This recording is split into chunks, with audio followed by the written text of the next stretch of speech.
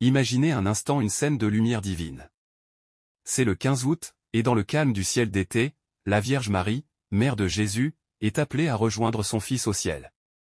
Mais ce n'est pas une simple ascension spirituelle, c'est l'Assomption, un événement unique où Marie est élevée, corps et âme, dans la gloire céleste. Les premiers chrétiens croyaient fermement que, parce qu'elle était la mère de Dieu, Marie ne pouvait pas connaître la décomposition du corps.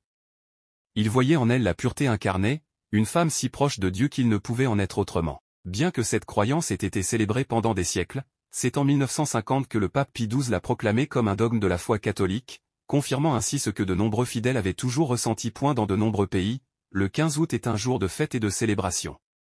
Des processions colorées, des prières ferventes et des messes solennelles sont organisées pour honorer celle qui est maintenant reine du ciel. Cette fête n'est pas seulement une commémoration, mais aussi un message d'espoir pour tous les chrétiens, tout comme Marie,